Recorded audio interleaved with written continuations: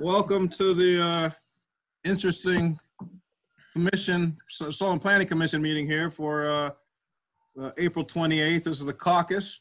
Um, uh, Thank you guys for, for doing this with us. This is, you know, we're all kind of feeling our way here to figure out what's going on. I think we lost a couple of people in there. Rick's coming back on. Um, But we'll, uh, we'll figure it out as we go and uh, we will go ahead and get the, uh, the, the, the, the city's business done as, as as it pertains to us.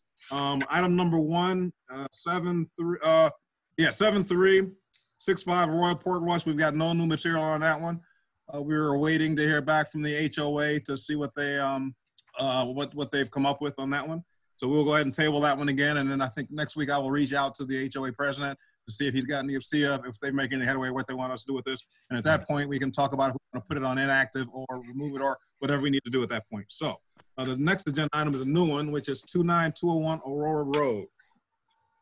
This is, uh, they're enlarging the driveway on this one. Uh, You guys have all seen the the curb cuts when they're cutting the curb and making, it, uh, making it bigger so they can get the trucks in and out of there. I believe trucks, right? Yeah. So, um, any discussion, commission members on that one? The only thing I saw was a note that the request a lot consolidation. Future, That's, and, uh, that's, uh, Bill, that's in the planning memo, and we just, we're putting it out there for you if you want to do it. Uh, certainly, it doesn't need to be any type of quick time frame on it, uh, but, um, yeah, lot, it, there is two lots. Normally, the planning commission, often the planning commission would make a contingency, you know, a year or something like that. Up to, up to you entirely. Bill, you feel like you want to do that?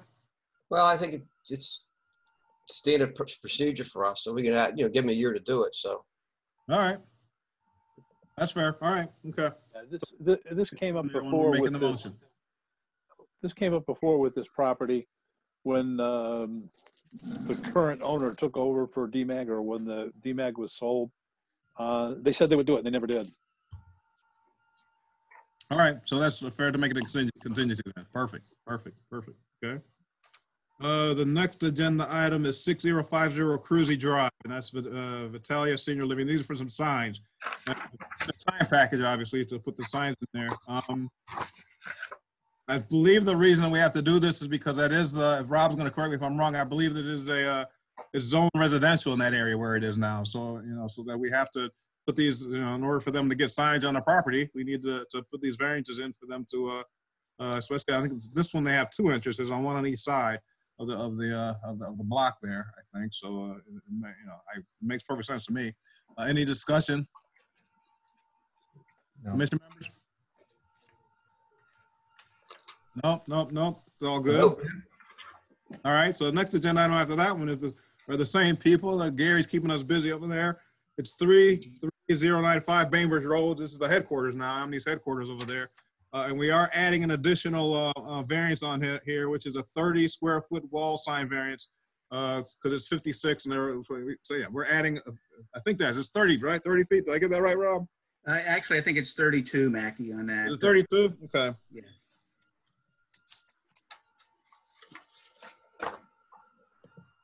Okay, thank you. So it's thirty-two foot square foot wall sign variance to, to- for the additional thirty-two feet, so they can uh, have the sign there. Um, same thing, it's in the, it's the same area. Um, so they need the signs to show, uh, and I understand fire was, uh, like this idea so they could see it a little better and that there were no, uh, mistakes on how to get in there in case they needed to get in there. So. Mm. Any questions, discussions for that one?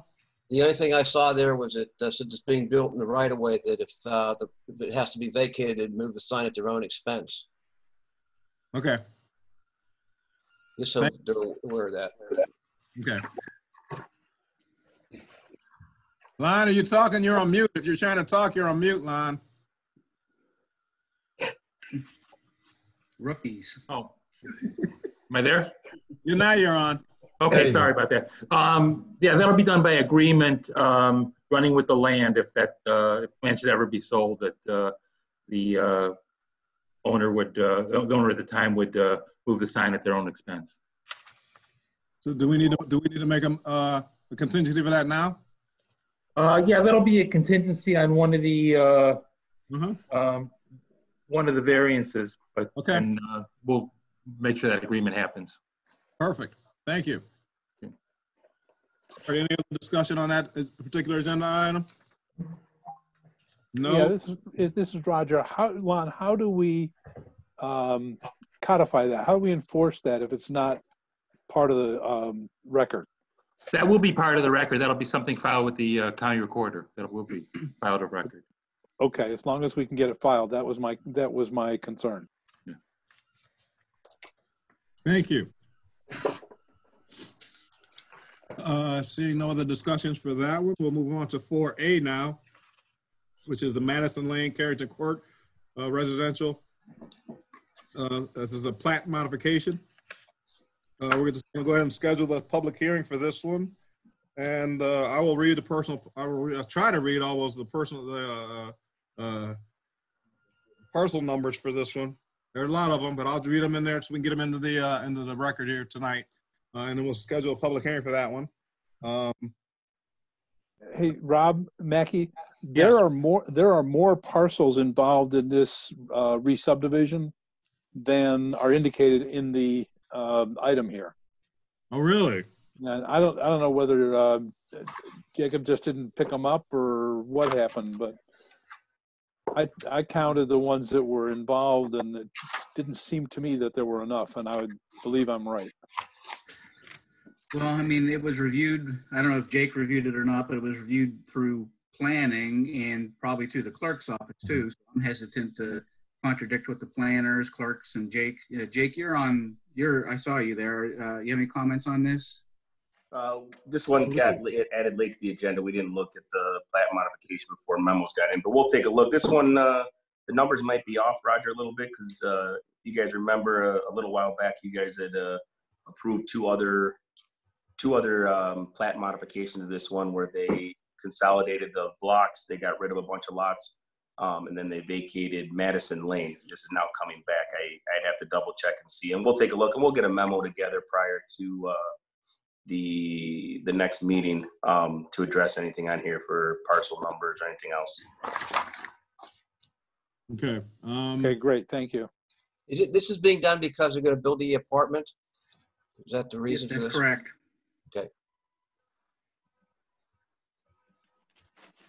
all right, so should I read these numbers knowing they're, uh, just, uh, partial or should just, uh, wait and do it, uh, when we, uh, are, you know, gonna, we're, we're, we're scheduling a public hearing anyways. We're going, we're coming back on the 12th, so. I mean, I think you could read the Mackey. I mean, Roger saying that there's more involved. Um, we, we need to verify that maybe what Jake was saying, that, um, that the plat is right. So I think you could read it, the, the parcels as per the agenda. Lon, I don't know if you have any comments, but I, I, I, I, I, I don't think they have to be read at this point because we're setting it for public hearing anyways. And as long as they're right. correct in the new agenda, we're, we're, we're good.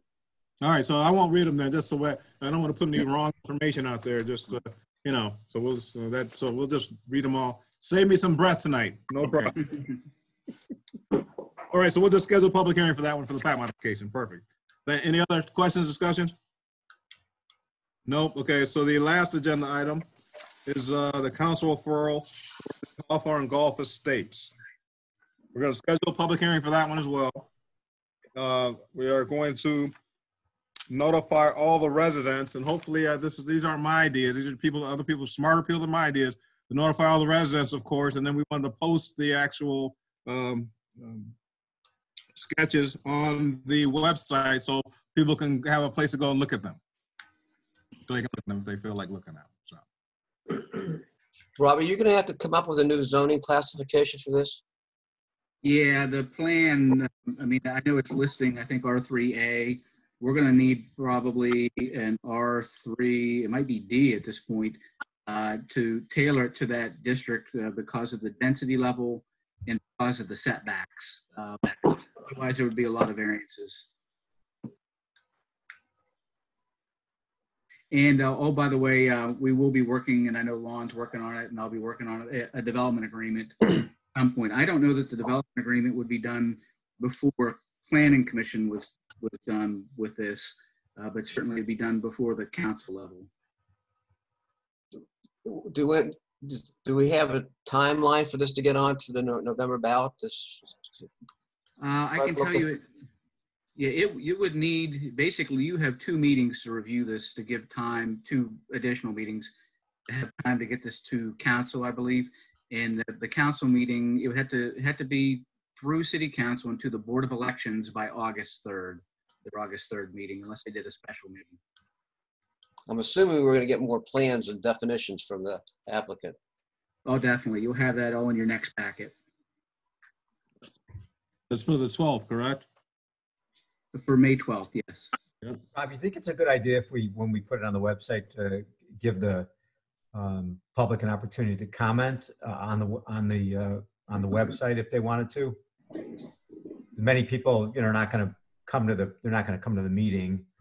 um, Yeah. May not access the public meeting. I'm just wondering if maybe an opportunity there. Well, I think it can't hurt, like you said, the more opportunity for people to comment, the better. This, this would have been a different process, Mayor, as you know, if- if we, if it did normal times and a lot more input. So I- yeah, I think that's a, a good idea. Okay.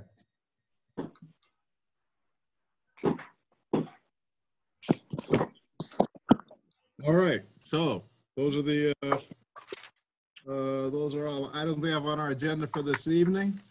Um, did I miss anything? Who's out there? I think we got everything covered there. All right, we're right on time here. Perfect. I see we got a couple other people join. Hello, welcome, welcome. Uh, just to bring you guys up to speed, I see Brian and John, I guess, just jumped on here. Thanks, welcome. Thanks for coming in. Uh, we had some technical difficulties putting it on YouTube, I guess. So we're gonna uh, do it here, and he's gonna post it on web on on uh, YouTube after it's done, so people will be able to watch it. They won't be able to see it live because we couldn't get it on YouTube, but they will be able to watch it, uh, the, the reruns of it, I guess, if uh, if, if anyone's interested. Uh, I am gonna go ahead and go through the um, um, we have the call line up there if you want to call. Oh, that's the backside. The inactive agenda, we're not gonna deal with today, um, Jim. We're gonna leave, that's the backside, okay. Um, so, uh, uh, I doubt we'll have, well, we might have calls from the, regarding the agenda items, that we might, but I'm gonna, I'll talk about those when I get to them in the, in, in, in the meantime. So, Mackie, if if I, it's seven, is it seven thirty? Mackie, sorry to interrupt there. I just realized that with the PC that's down, the piece of equipment that's failed in the thing, we won't be able to route the phone calls. Um, No So problem. I Yep. will, um, I will make note of anybody who does call in if we need to follow up with them directly so we can make sure that they're, you know, customer service wise, that we're squared away. Um. But uh, uh, aside from that, unfortunately, that part will be down due to the computer that's failed in the, in the, in the room. But No worries, Jim. We're good to go then. Yep, thanks for letting me know. Yep.